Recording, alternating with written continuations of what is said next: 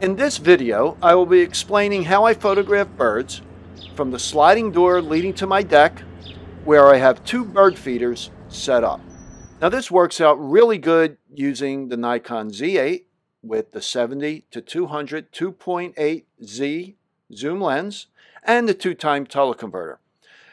I use area mode C1 with the smallest custom focus area selected and animal detection and I shoot at 10 frames per second. I had been shooting at 20 frames per second, but that just gives me too many images. So let me just explain my setup. This is my the view from the sliding door looking at the deck. And you could see on the right there, there's a shepherd hook, and I have a branch attached to that.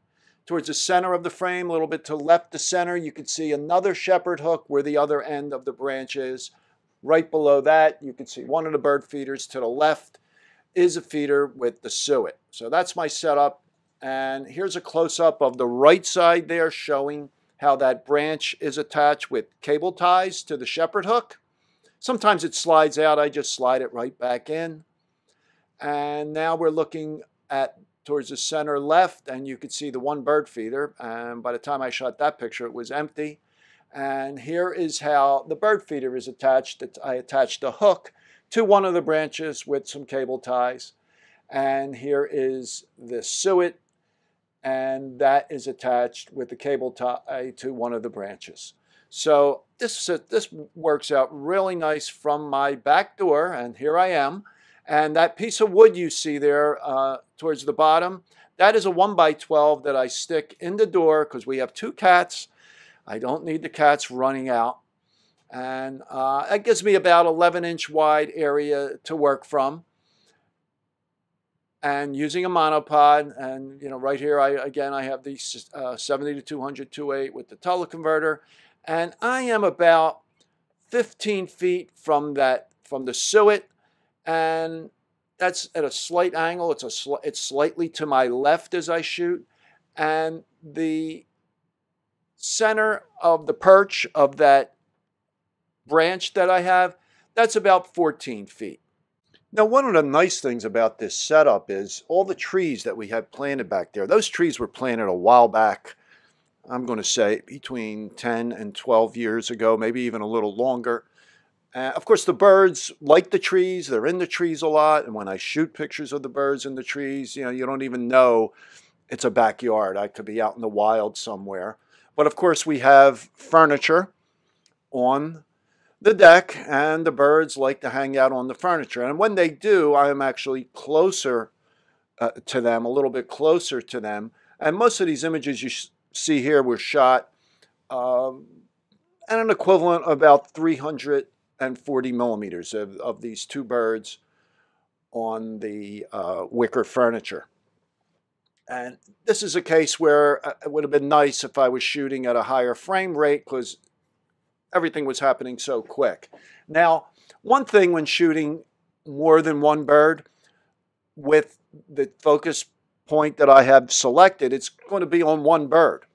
And therefore, sometimes the other bird, depending on my aperture, will not be in sharp focus. So it's always best in a situation like that is to focus on the closest bird, use the smallest aperture you can with, of course, a fast enough shutter speed when they're moving quickly, and uh, stand a better chance of having the bird that's slightly further away in focus because there's always more depth of field behind the focus point than in front of.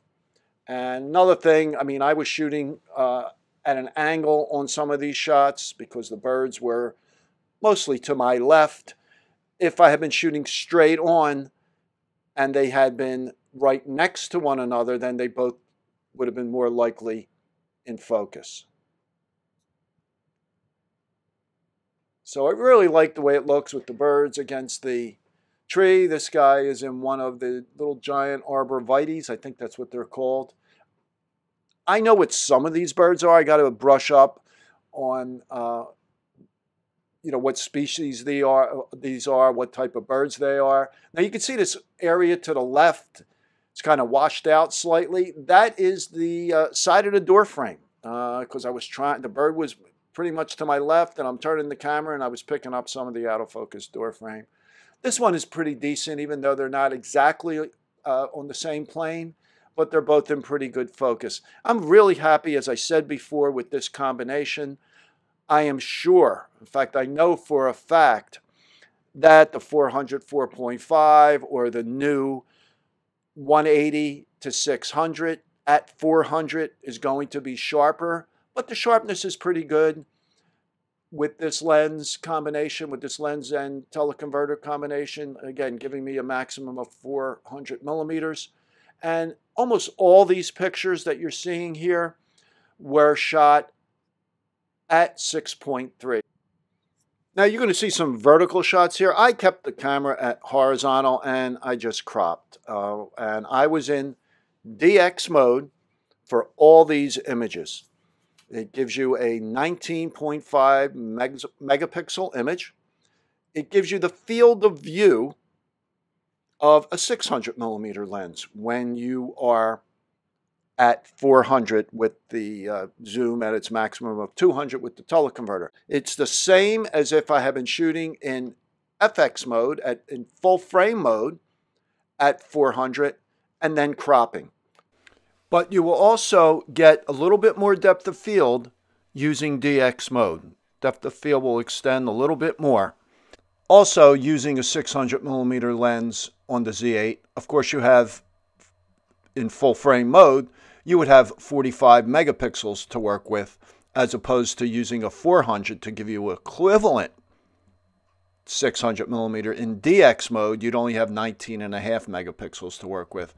Also, the fact that you were shooting full frame, you would also have less noise. And of course, you could also crop quite a bit more since you'd be working with that 45 megapixel image. Now, this is Chippy, our little friend chipmunk, who kind of sneaks in all the time and eats a lot of the bird seed. And he's always hanging out on that bird feeder. I've yet to get him uh, get a shot of him uh, running around the deck. Of course, anytime I see him on the deck, uh, I don't have my camera at hand. Now, of course, I know this is a blue jay, and uh, I'm not sure. I think it's just the same one, but I I, I don't know. It, it, I've never seen more than one, and of course, very colorful. Looks good against the green background, and I really am happy we decided to plant those trees years ago, and we did not plant the trees with the intention of photographing birds. It was just to give us some privacy. There's another house behind us, and uh, just to you know give it a little more uh, privacy. And but it worked out now that I'm trying to do this bird photography, and I'm learning quite a bit. It's not easy. I mean, the camera makes it easier focusing on the eyes. Uh, it usually picks up the eye of the bird, unless it's a real dark bird or the light is really low. And I, I, I no way could I have done this well with, let's say, the Z6. Um, because even if I am off a little bit with the focus point, it seems to pick up the eye. And also the high ISO on this camera is excellent. Not as good as the Z6. I will say the Z6 is definitely better. But I've shot some of these images actually at 12,800. And then I used Lightroom's denoise. It's a new feature in Lightroom. It's called denoise. You just click on that. It brings up the image. You select the amount of correction that you want. And it takes about a minute and it does a really nice job. I would say it kills sharpness just a little bit, not much at all. And it's, it's a great new feature with Lightroom, it allows you to use higher ISOs than you normally would. Now, I prefer, of course, to keep the ISO as low as possible for the highest possible quality. But none of these images here were shot at anything below about 2,000 ISO. It was a cloudy day. Actually, these images you're seeing here were shot over a period of two days. This one is cropped in quite a bit. Um, really like the, the cardinal with the green background, really stands out. But so these were shot over the period of two days. It was cloudy and also very cool for June in South Jersey. So I hope you enjoyed this video. If you did, please give it a thumbs up and subscribe to my channel. I usually come out with a new video every Wednesday morning at 11 a.m. And if you have any questions or comments, please leave them in the comments below. I will talk to you next time.